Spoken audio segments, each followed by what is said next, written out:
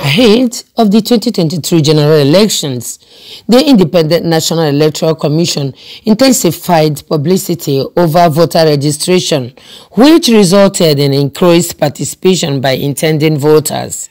The success of that exercise is, however, experiencing a hitch as the voters' cards are now lying uncollected at the various INEC collection centers. The cars are here. In short, in all the INEC offices, go to INEC office, all cars are packed. Nobody is picking it. Our visit to the INEC office will reveals that thousands of permanent voters' cars are yet to be collected by their owners. A cross-section of Owerri residents, while speaking with NTA News, say they are eager and ready for the forthcoming election, while others say they are constrained. I've never got my own PVC. No, I don't know within that who did because they, they gave me this paper. I should come on 16th.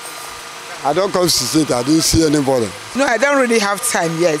I will make out time to go and collect it. Dr. Chinenye Osuji is the Public Relations Officer of the Independent National Electoral Commission, Imo State. We have a lot of um, uncollected permanent voter cards in Imo State. In the 27 local government areas, so they're not in my office here, they're in the 27 local government areas.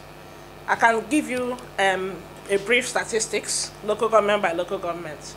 Uh -huh. So, about compliance, no, people are not coming. With the appeals coming from INEC, it is expected that those yet to collect their PVCs will endeavor to get them in order to participate in the forthcoming general election.